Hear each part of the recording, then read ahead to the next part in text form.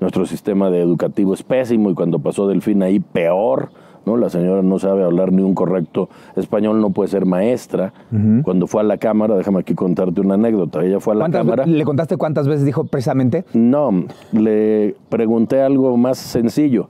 ¿Dónde están 5.800 millones de pesos que etiquetamos los diputados para las escuelas de eh, tiempo completo que usted desapareció? Ajá.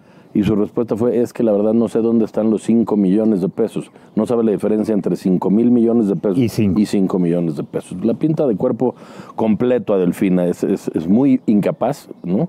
Pero aparte es muy corrupta. Que la incapacidad y la corrupción, pues es una bomba molotov. Claro, pero que pasa algo muy simpático con Morena, ¿no? O sea, todos los corruptos de otros partidos que llegaron a Morena parece que automáticamente se vuelven impolutos, inmaculados, rezan 500 AMLOS nuestros y con eso se curan y con eso se acaba la corrupción por arte de magia.